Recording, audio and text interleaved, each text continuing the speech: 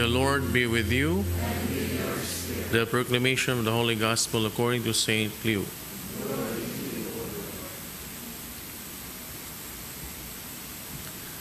The tax collectors and sinners were all drawing near to listen to Jesus.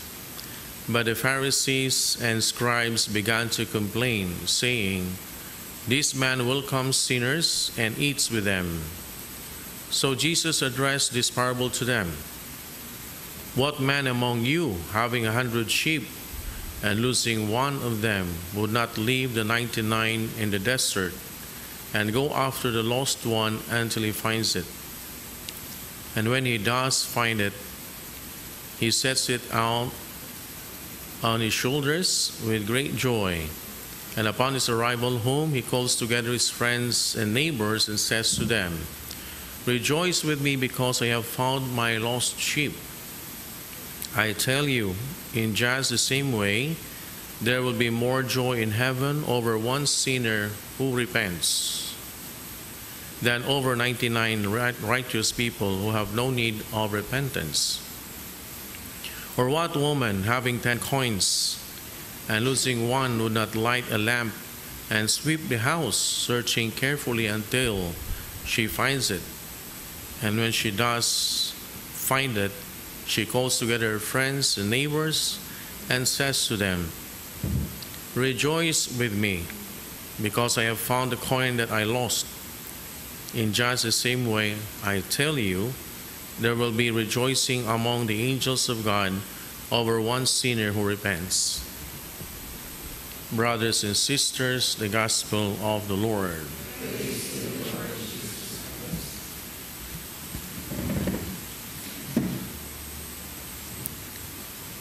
Maing udon tung tanan. Now, the first reading tells us about Saint Paul. Saint Paul's realization nga his knowledge of Christ kay it came later in his life no he's far greater than all his achievements no as a Pharisee as a Jew kay param ko niya all his achievements are actually nothing in comparison of his knowledge of Christ kaya manggong na realize nga it's Christ who can save. It's Christ who can bring him to heaven. Not his being a Pharisee, not his being a Jew, not his being a circumcised. Si Jesus ra gyud. Umuna nga nagpasalamat siya nga he knows Christ. At least through Christ, he can attain salvation. O mo ningo siya nga all the things nga he has achieved are mere rubbish. Mga basura. Why hinungdan? No? Kay para niya, knowledge of Christ is the most precious gift sa iyang kinabuhi. Og um, yesterday, naghatag ko uh, final exam sa ako mga estudyante sa OAD. Niya, one of the students is actually come from Agusan. Yeah, I really appreciate sa ilang programa dito and I wish nga it would be also done here. Kay suma magod sa iyang gingon, kay nga mong class is all, is all about wisdom literature. Tingnan siya nga sa among probinsya, Agusan, ang ilang elementary student no, would not graduate until makagi og LSS. So to sa ilang high school, no, nga mga estudyante di makagraduate kung di makagi og LSS. So charismatic would handle the moral and spiritual formation of all the pupils and all the students sa elementary high school. Ang ilang programa is kind of moral recovery sa mga bata kaya siguro nakita nga tinuod sa education nato, di ba? Sa atong public education is more on sciences, languages, di ba? Knowing mathematics, reading, writing. Pero ang value formation, character formation, mo giwa pero mo lagi na what's the use? Nga nakakuha kag K to 12 or K to 20 baka na kung ano sa programa then after that you don't know your redeemer. You don't know your savior. You don't know Christ. Magunsa man na kung daghang kag ingnon tanibalan niya pagka human niya na may pirlo gyapon ka. Di ba?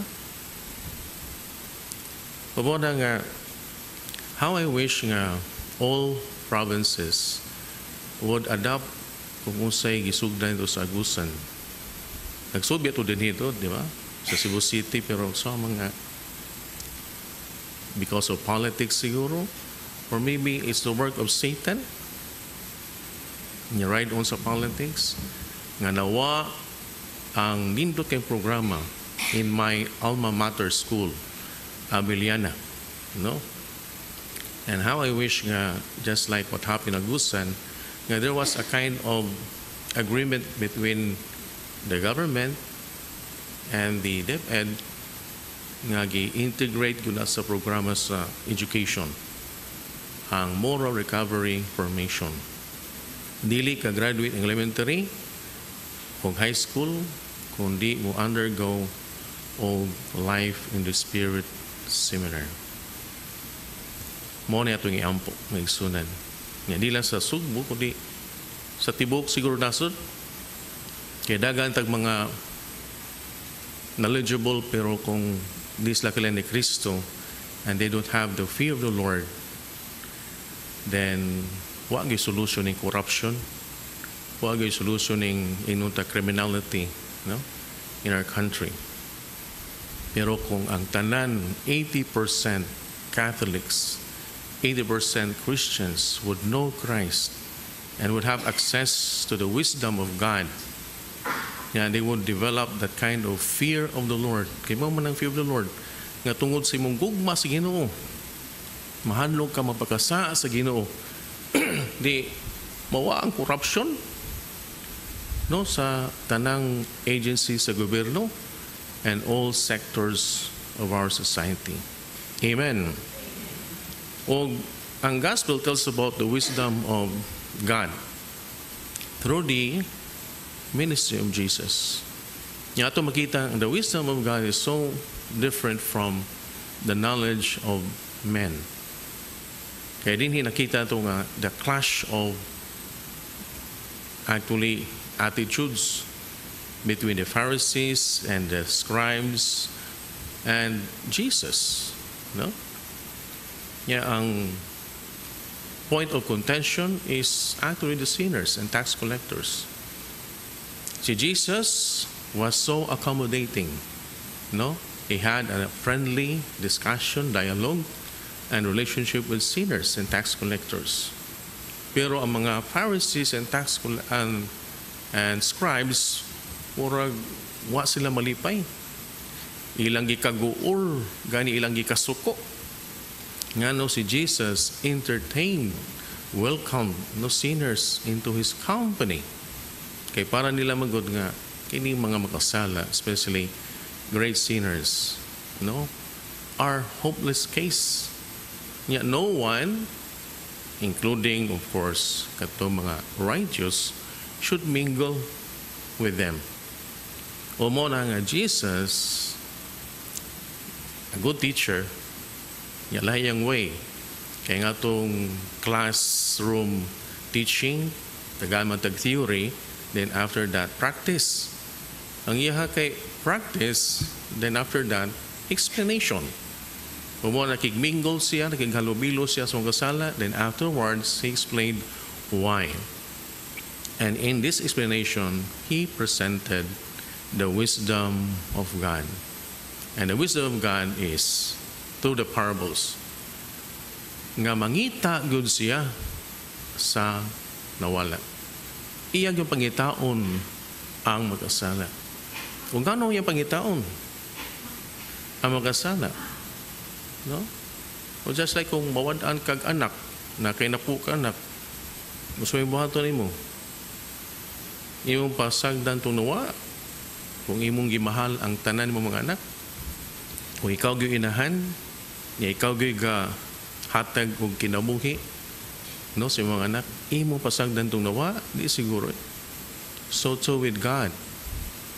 Nga way usa nga iyang tugutan nga mawa kay everybody no has been created in the image and likeness of God.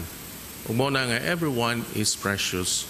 Even that person is considered sinner kay sumapa sa Old Testament in the book of Ezekiel God no does not wish the sinner to die but to repent no so that the sinner might live. Kaluwasan ang nasa una kasing-kasing sa Ginoo sa mag-asala pero mo lagi na the attitude the character of men kung mag-asala condemnation. Kung mag-asala rejection kung mag-asala i-judge dayon nya murag what happened in the past and the, during the time of Jesus murag nibalik sa atong panahon karon di ba? Tungod magud na ning atong ah, programa sa gobyerno ni kaning against drugs nga murag ang mga tao pod na condition pod sila nga kay kuno ang mga drug- drugista murag salo sa, sa atong society. Maining pamatyon. Ug sa nagsugusog ka matay yeah, with impunity. So ang daghan kay mga tao yung na mayra mayra mayra. Pero what would happen to our society kung ang tanang mga 80% nga mga Katoliko o Kristiyano makaingog mayra? Napasabot lang yun na nga, we don't understand the wisdom of God. No?